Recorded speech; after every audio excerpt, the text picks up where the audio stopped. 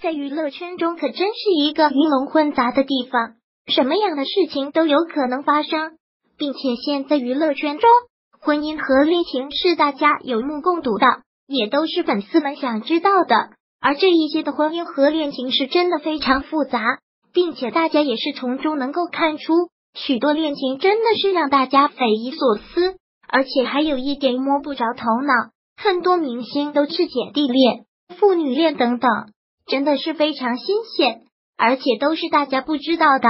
看出现在的娱乐圈真的是世事难料，对于恋情真的是不分年纪，也不分国籍的。就像我们今天要说的是一段跨国恋，是在前段时间，一位是四十二岁韩国女星玄素苑嫁给了中国二十四岁的富二代陈华，这个事情也在成功上了热搜榜，并且玄素苑是一位韩国明星，而且早已来到中国，他和张娜拉算是同期韩国艺人，在之后参演过电视剧被大家所知道，后来趁热打铁推出了自己的新歌。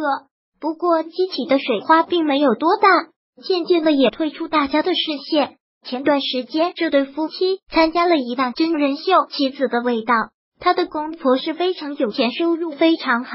儿子简直就是个富二代，娶了和妈妈相差近八岁的老婆，在别人眼里是很难接受的。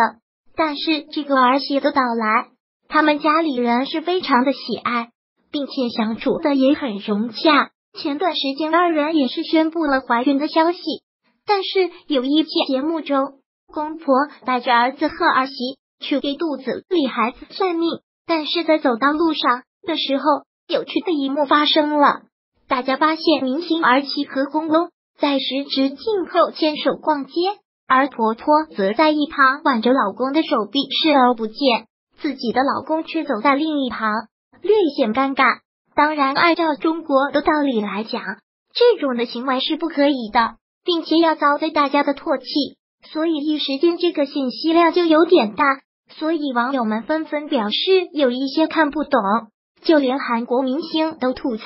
哪有儿媳妇和公公走在一起还手牵手的？所以简直就是令人诧异。那么各位看官，你怎么看待这种事情？欢迎大家来评论。欢迎关注小编，我随时了解最新电视剧、网剧、电影动态、明星八卦。